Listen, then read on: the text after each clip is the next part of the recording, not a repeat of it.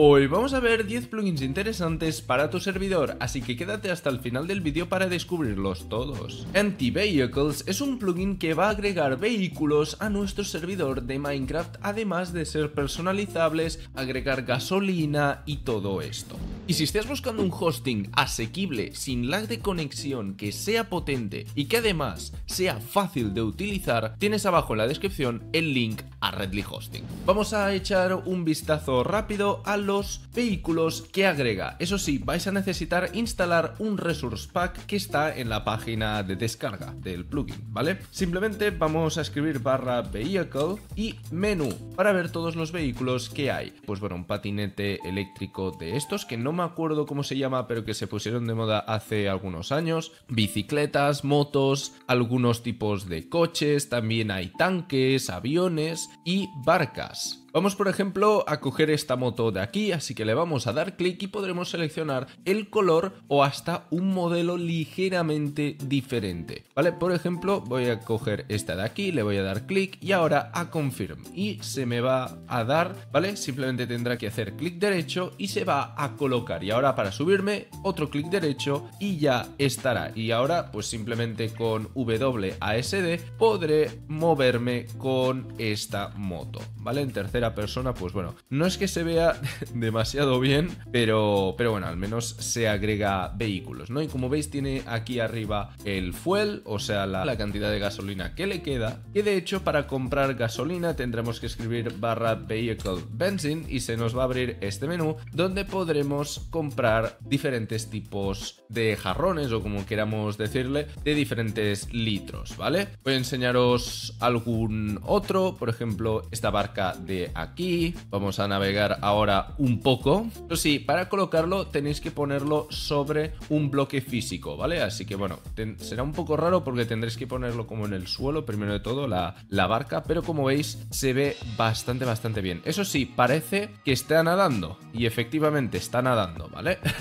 Así que, bueno, tener eso en cuenta que tercera persona no se acaba de ver del todo bien. Food Allergy es un plugin que va a agregar alergias a nuestro servidor de Minecraft. Y de hecho las alergias son asignadas a los jugadores de forma aleatoria. O sea que, por ejemplo, al momento de entrar por primera vez al servidor, a mí se me va a asignar que tengo alergia a las manzanas y de hecho hay diferentes tipos de alergia. Hay un tipo de alergia bajo, uno medio y uno alto. La alergia de tipo bajo nos va a dar náusea, por ejemplo, o efectos pues así un poquito menores. Luego el efecto medio de la alergia nos va a envenenar y el nivel alto nos va a dar por ejemplo el efecto de Wither. Obviamente todo es configurable a nivel de qué alimentos pueden producir alergias y pueden existir. Challenge Plugin es un plugin que va a agregar la posibilidad de nosotros poder configurar retos dentro de nuestro servidor de Minecraft. Para crear un nuevo reto simplemente tendremos que escribir barra settings y se nos abrirá este menú de aquí donde podremos ver las diferentes opciones que tenemos, Podemos también agregar add-ons a este plugin, ¿vale? Que estén hechas específicamente para el plugin y configurar desde aquí. Vamos a ver primero de todo esto. TeamVS es una opción que nos va a permitir jugar a retos con equipos, ¿vale? Si los seleccionamos, vamos a ver aquí un, tipo de reto, por ejemplo, el bingo, donde tendremos que encontrar nueve bloques específicos para ganar. El Force Item Battle, que es bastante parecido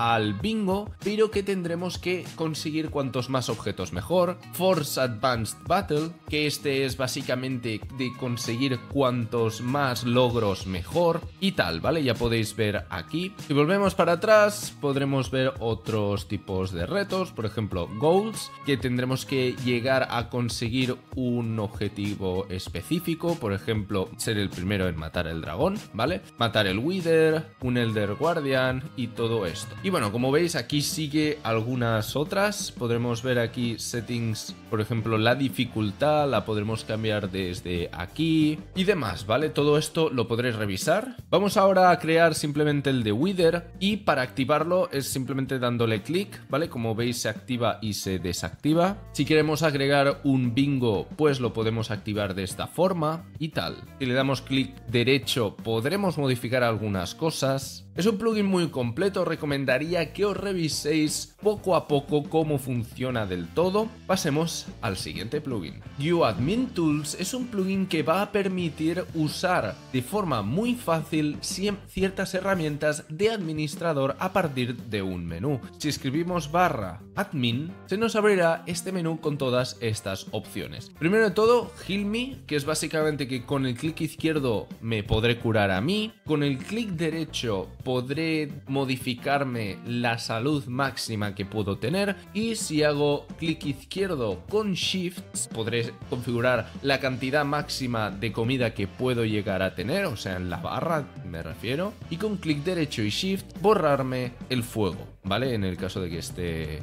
en llamas, ¿vale? También, pues bueno, podré modificar el game mode en el que estoy muy fácilmente en lugar de tener que usar el comando, pues con, con clic derecho podré ir cambiando, ¿vale? Luego, si queremos estar modo Dios o no, polar, modificar la velocidad de caminar, la velocidad de volar y demás, ¿vale? Como veis, muchísimas cosas, también un player manager, Pickle Players, modificar el tiempo y el, y el clima del mundo, las flags y tal. Y luego para cerrar el menú simplemente tendremos que darle a la tolva. Slime in a Bucket es un plugin que va a permitir que recojamos slimes del suelo, ¿vale? Los slimes en su forma más pequeña y nos ayudará a detectar slime chunks para que así, pues bueno, podamos hacer una granja de slimes y lo que queramos. Para conseguir un bucket con un tendremos que tener pues evidentemente primero el cubo y luego tendremos que tener un slime delante, ¿vale? Voy a spawnear uno, en este caso pues este más grande de tamaño medio no podríamos recogerlo, pero de este tamaño ya sí que sí. Podremos darle clic derecho y como veis lo he recogido. A ver, necesitáis un paquete de texturas que la verdad a mí me ha fallado al momento de instalarlo, Es posible que a vosotros sí que os sirva, está en la página de descarga y se verá tal que así, ¿vale? Y pues al momento de detectar un slime chunk, básicamente se verá de esta forma, ¿vale? Empezará como a saltar, como podéis ver, y además también si lo tiramos, pues lo podremos ver, ¿vale? Aquí está mostrando que en los diferentes chunks, pues en uno salta y en otro no. Nada, el plugin básicamente es esto, agrega alguna característica más, pero que es muy pequeña, así que mejor pasemos al siguiente. Border Plus es un plugin bastante útil para ciertos casos en donde se va a permitir que los jugadores puedan pagar monedas del juego para incrementar los bordes del mapa en el que estén ahora, o bueno, del mundo, mejor dicho.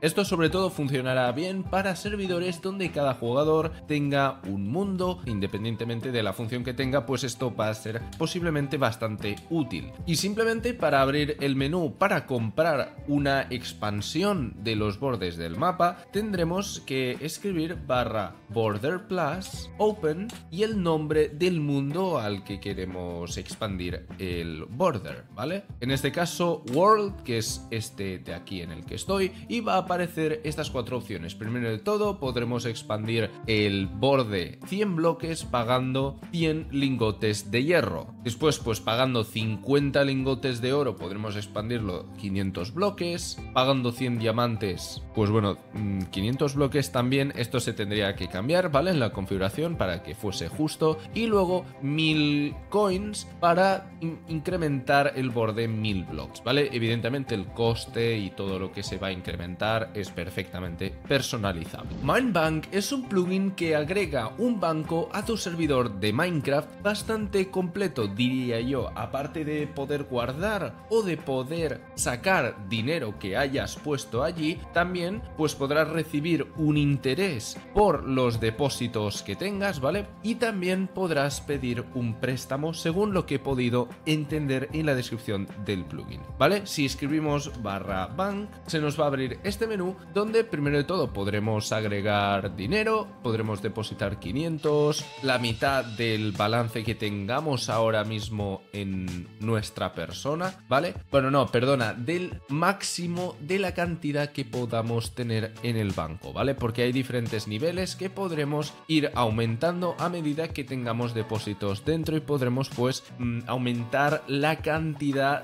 de dinero que podemos tener dentro del banco, ¿vale? Bueno, todo esto es para depositar dinero y esto es para sacar dinero por si tenemos que pagar por cualquier cosa dentro del servidor, ¿vale? He podido entender que también si retiras más de lo que tienes, estarías haciendo un préstamo y por lo tanto pues estarías pagando un interés al banco, ¿vale? Aquí podemos ver pues un resumen de mi cuenta, aquí podremos mejorarlo como ya he enseñado antes y aquí podremos ver un top de los jugadores con un balance más alto. 3x3 Pickaxe es un plugin que va a agregar una cosa bastante sencilla que es un encantamiento que nos va a permitir picar 9 bloques de golpe, ¿vale? Lo podremos conseguir de forma natural, podríamos decir, o de forma orgánica a través de una mesa de encantamientos o si queremos asignarlo directamente a un pico, pues podremos tener el pico en la mano y escribir enchant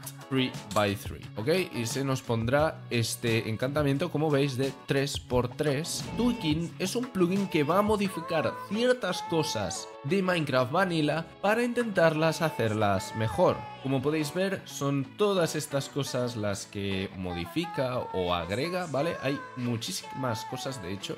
Vamos a ver, nada, un par o tres de ellas. Bueno, os la voy a comentar por encima. Mini bloques, por ejemplo, que ahora el Stone Cutter nos va a permitir convertir los bloques en mini bloques, ¿vale? En cabezas de mini bloques. Por ejemplo, si ponemos una piedra, pues nos va a dar una cabeza de una piedra pequeña, ¿vale? También, por ejemplo, que el Trader va a hacer anuncios por el chat y tal para que se vea cuando es que spawnea. También podremos esquilar, podríamos decir, a los pollos para que nos den las plumas sin tener que matarlos y tal, ¿vale? Ya veis que son cosas así que modifican un poco la experiencia vanilla para intentar mejorar. Villager Announcement es un plugin que va a agregar ciertos anuncios relacionados con los aldeanos, por ejemplo, cuando spawnen, cuando alguien trade con ellos o también cuando sean infectados por un zombie. Como podéis ver en este ejemplo se ve que